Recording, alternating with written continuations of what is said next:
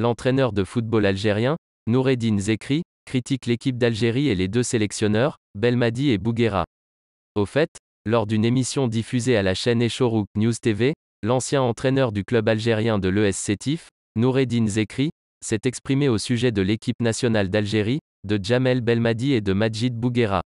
En premier lieu, l'interviewé a affirmé que la Coupe arabe de football est censée être une simple compétition amicale entre les différentes nations. Il n'est pas sans savoir que l'on a remporté le titre du vainqueur de la Coupe arabe 2021 lors d'une finale entièrement maghrébine.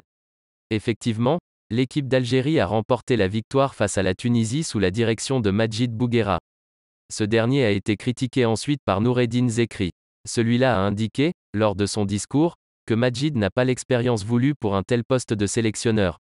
Effectivement, sur le plateau d'Echorouk News TV, l'entraîneur algérien, Noureddine Zekri, a dit que le technicien, Jamel Belmadi, a donné la direction des Verts à Majid car ce dernier est son ami. D'après ses révélations, il a critiqué Jamel Belmadi de ne pas avoir fait le bon choix disant qu'il a simplement choisi son ami.